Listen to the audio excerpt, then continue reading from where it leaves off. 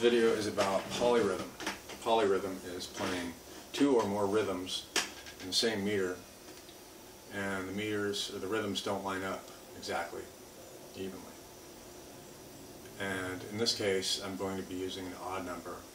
Uh, the knot number is 3 so we're going to have to start with 3 on 1 with eighth note triplets and then play every other eighth note triplet to have 3 on 2 quarter note triplets.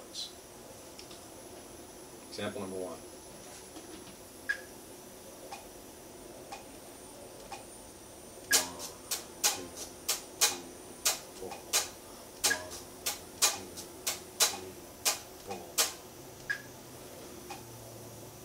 That example is going to sound, the second half of this example is going to sound exactly like the quarter note triplets because of these eighth note rests here, here, and here. Example number two is simply quarter note triplets.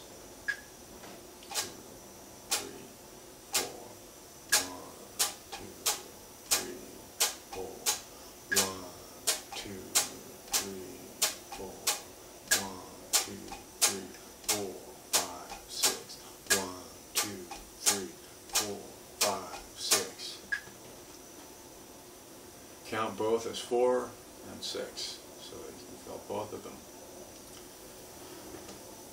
Next example, 6 on 4, where I've been counting a 6 on 4 in the previous example. This time, there's a subdivision on the last attack. Subdivision is a group of 3.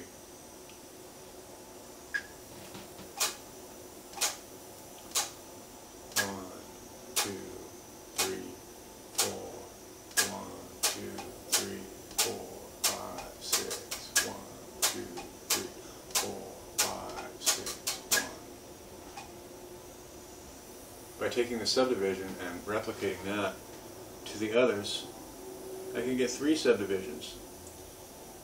And now I have nine attacks in the place of what would be two quarter notes. Now I have nine on two as a subdivision. So I have six on four with nine on two.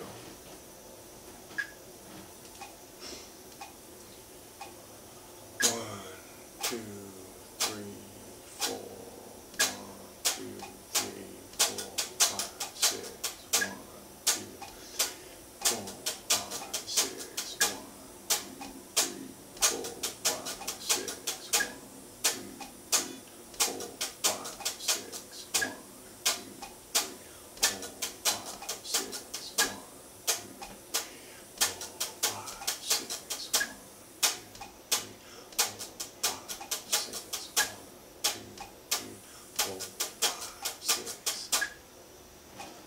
And there you on two. Uh, with these exercises, it is, it is important to tap the foot, very important to practice, essential to practice with the metronome, and it is helpful to count both in six and in four. Thanks for watching.